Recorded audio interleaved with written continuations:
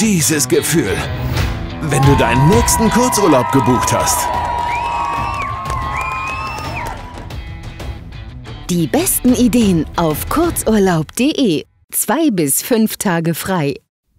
Ja, heute befinden wir uns im Behandlungsraum unserer Physiotherapeuten, das sind die geilsten Physiotherapeuten der Welt. Zum einen Tino Meyer und zum anderen Philipp Rix. Herzlich willkommen bei FCM TV. Ja, wir wollen einfach mal eure Tätigkeiten so ein bisschen beleuchten, euch vielleicht auch ein bisschen besser vorstellen. Tino, vielleicht die erste Frage an dich. Ähm, vergleich doch einfach mal so einen Arbeitsalltag hier im Trainingslager mit dem gewöhnlichen Arbeitsalltag in Magdeburg. Wie sieht es da aus? Was gibt es für Unterschiede? Erstmal vielen Dank fürs Kompliment, ja. Das können wir ja gleich zurückgeben. Ihr macht eure Arbeit hervorragend, ja. Man kann das immer nicht so groß herausstellen, aber ähm, wir sind ein ganz, ganz kleines Team, das wisst ihr selber. Und äh, ich finde es ganz cool, dass wir uns da so harmonisch ergänzen können. Jetzt zu deiner eigentlichen Frage. Ähm, ja, der Tag ist natürlich deutlich länger hier. Ja. Wir stehen um 7.30 Uhr auf, gehen zum Frühstück, die Jungs machen vorher Sport. Ähm, ja, und dann beginnt unser Arbeitsalltag, der ja, schon deutlich länger ist als in Magdeburg. Ja. Wir begleiten auch in Magdeburg die Trainingseinheiten, aber hier trainieren wir jeden Tag zweimal, sind immer am Platz, äh, vor den Trainingseinheiten, nach den Trainingseinheiten für die Jungs da. Und äh, da gibt es auch nicht so groß vorgeschriebene Behandlungspläne.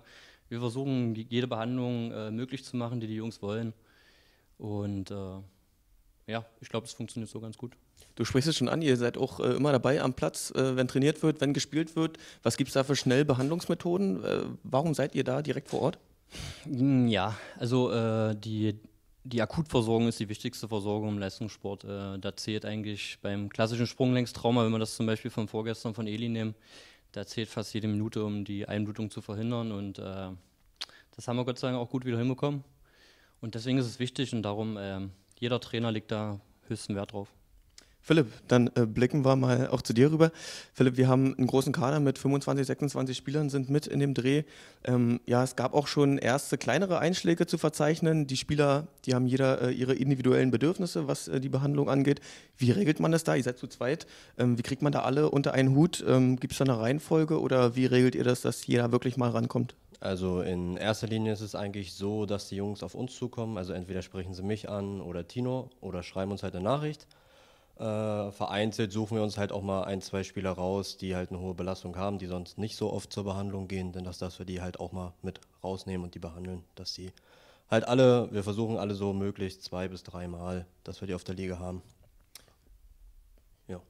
Was sind denn die häufigsten Beschwerden? Äh, was, wo drückt der Schuh am meisten? Äh, wo wird da gequengelt, wenn die Jungs bei euch anklopfen? Also jetzt gerade im Trainingslager ist ja die Belastung schon äh, höher als sonst unter der Woche und da ist jetzt halt vereinzelt vorne und hinten der hintere Oberschenkel und die Waden, dass die zumachen, dass die Jungs da äh, dort gelockert werden wollen.